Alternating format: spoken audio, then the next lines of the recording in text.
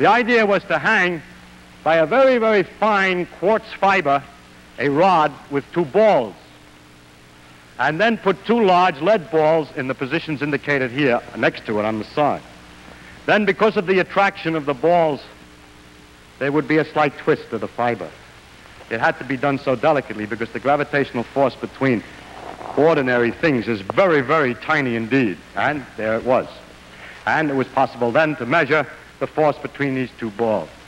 Cavendish called his experiment weighing the Earth. We're pedantic and careful today. We wouldn't let our students say that. We would have to say they're measuring the mass of the Earth. You know? But the reason he say that, said that is the following.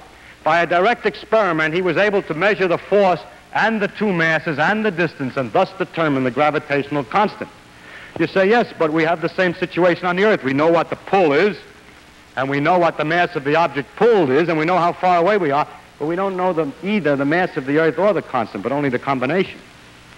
So by measuring the constant and knowing the facts about the pull of the Earth, the mass of the Earth could be determined. So indirectly, this experiment was the first determination of how heavy or how massive is the ball on which we stand.